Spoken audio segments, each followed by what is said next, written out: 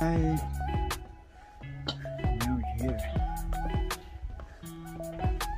Ano pala? Ito, kung hindi na kung anong ibig sabihin ng bata na eh. Pero isa yan sa dito. Ah! Uff! Grabe ang lamig.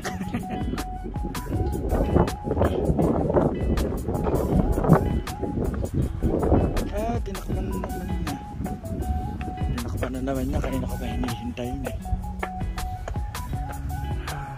Huha, huha, huha. Ayan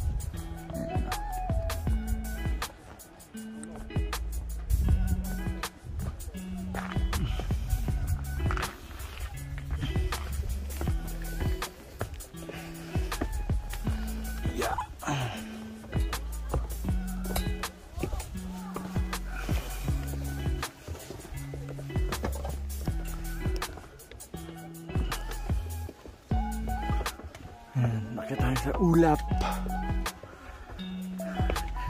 Medyo hindi ka tatagal dito kasi ang lamig. At least,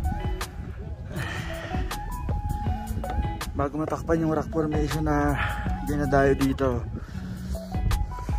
nakakuha ako ng konting kuha.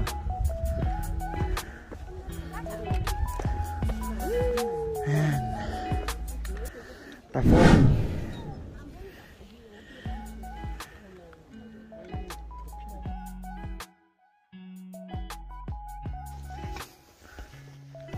Okay.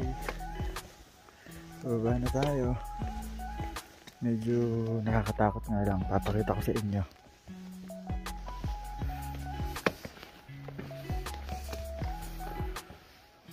Yan lang naman yung bababain ko. Kasi tapos ko siyang akyatin. Bababain ko naman sa ngayon. Ito yung mga one day hike. Ah, inakyat ko siya ng 1 hour and 30 minutes.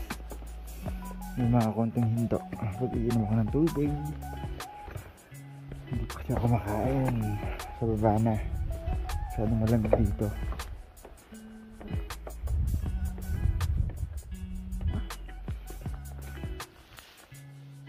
Ayan o. Ang malalaking bato. Yan yung dinadayo dyan na bato. Kasi ang ganda niya.